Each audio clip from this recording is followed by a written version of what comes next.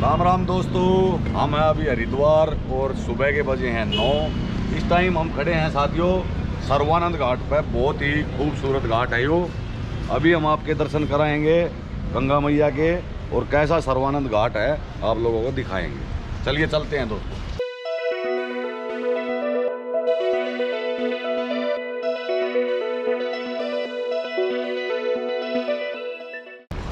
दोस्तों, गंगा नदी का जो पानी है, उसका स्तर कम कर दिया गया क्योंकि सफ़ाई का काम चल रहा है।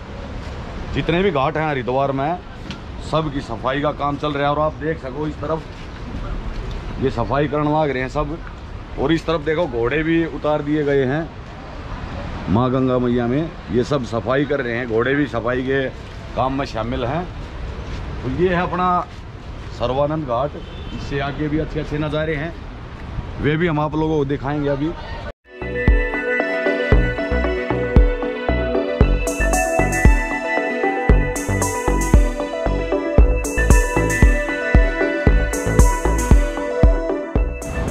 साथियों, गंगा माई की जो सफ़ाई है, वो खचरों द्वारा करी जा रही है। देखो आप, इस तरह से गंगा माई से जो रेती इस पर घाट पर आ जाए है बैग है उसको ऐसे कसी दोबारा उठाया जा है और इस पर खच्चर पर लाद दी जा है फिर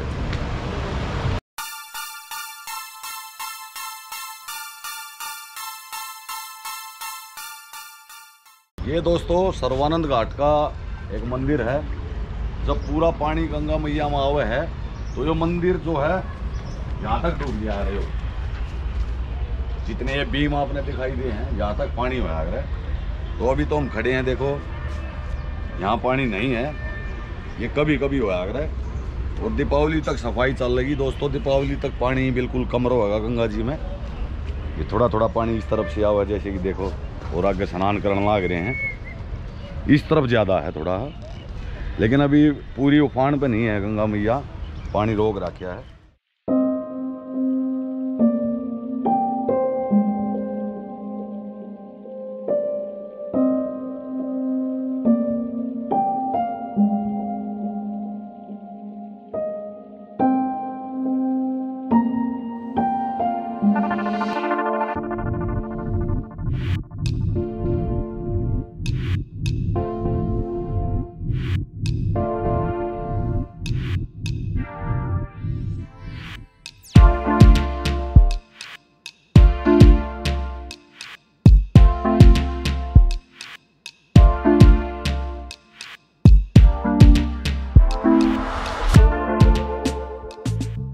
दोस्तों, आप अगर बिल्कुल सुकून से और शांति से स्नान करने या इंसान हो तो ये जो जगह है, ये आपके लिए परफेक्ट है।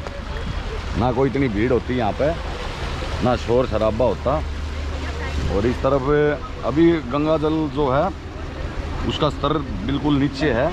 पानी कम कर दिया गया है। तो अभी सफ़ाई का मामला जो है, वो हर घाट पे आपने दिखाई देगा। ये जितनी भी रेती, देखो वहाँ पर रेती इतनी जमा होगी। तो उसको अब निकाल देंगे, पूरी सफ़ाई कर देंगे इसकी। बहुत सुंदर नज़ारा है, वो सामने बिल्कुल मनसा देवी वाला पहाड़ है। दिखाई दे रहा होगा आपको।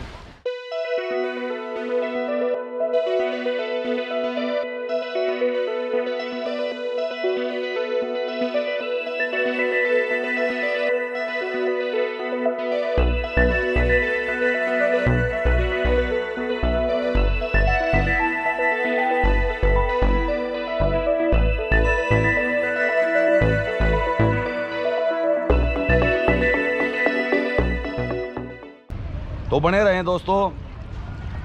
माँ मनसा देवी की वीडियो जल्दी अपलोड करूँगा। आप लोग ऐसे ही साथ देते रहो। वीडियो को लाइक करो, चैनल को सब्सक्राइब करो, घंटी का बटन ज़रूर दबाइयो दोस्तों। राम राम। जय गंगे मैया।